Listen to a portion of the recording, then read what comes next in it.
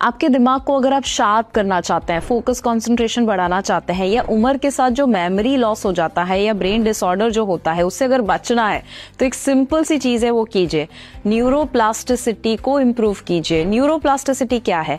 आपके ब्रेन में एक वायरिंग बन चुका है जो आप अब तक करते आए हैं।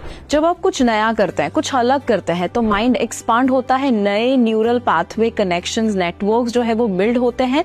आपके ब्रेन हेल्थ को वो और ज़्यादा इंप्रूव कर देता है।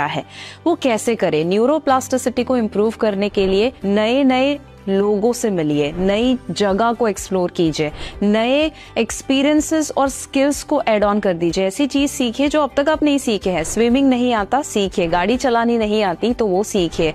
या आप नई लैंग्वेज सीख सकते हैं। या उसी के साथ साथ इवन आप अभी जो कर रहे हैं, उसको अलग से करें। अगर राइट हैंड से ब्रश कर रहे हैं तो लेफ़्ट हैंड का इस्तेमाल करें। अगेन आपका माइंड एक्सपांड होगा ही होगा।